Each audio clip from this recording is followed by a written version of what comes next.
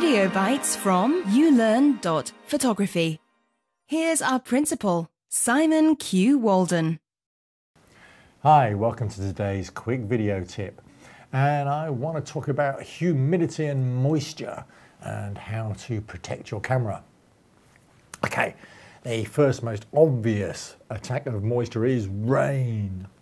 And you know what? A very quick way, keep a clear plastic bag in your pocket and just wrap the plastic bag around your camera. Uh, if you're careful, you can even shoot through it as well, but, but you know, just wrap it just to keep it dry.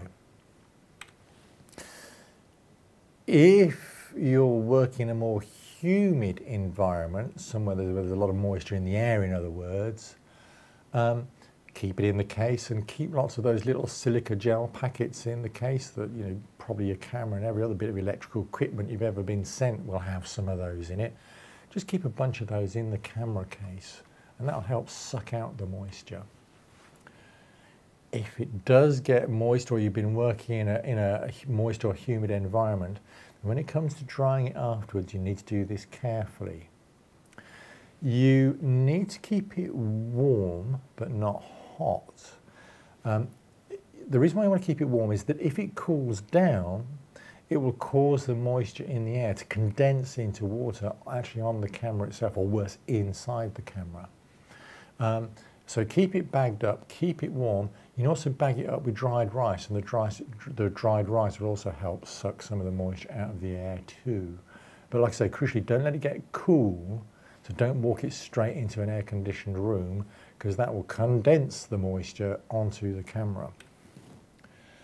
Um, if you're doing the reverse, if you're leaving an air-conditioned space with a cold camera, um, then this will also cause condensation. Just think about a cold beer can taken out of the fridge, take it into a warm environment, moisture condenses on the outside. Uh, so same thing applies is, is bring it up to more than room temperature. Try and bring it up slowly to exterior temperature if you can. What, there are two issues that you're worrying about here. Is one is you just generally don't want moisture in your camera, but you also particularly don't want fungus growing inside your camera, especially on the lenses. Um, really, once you've got fungus growing on the glass on a lens, your lens is probably shot. Um, and it's it's less of a problem these days with modern lenses. They seem to be better protected against fungal growth. But if you're buying second-hand lenses from uh, older cameras and just older lenses in general, that's always was and is the big worry is, is there fungus growing on the lens, growing inside the lens, because that's all essentially impossible to clean and remove. Subscribe now for regular tips and updates. To find out more, go to ulearn.photography.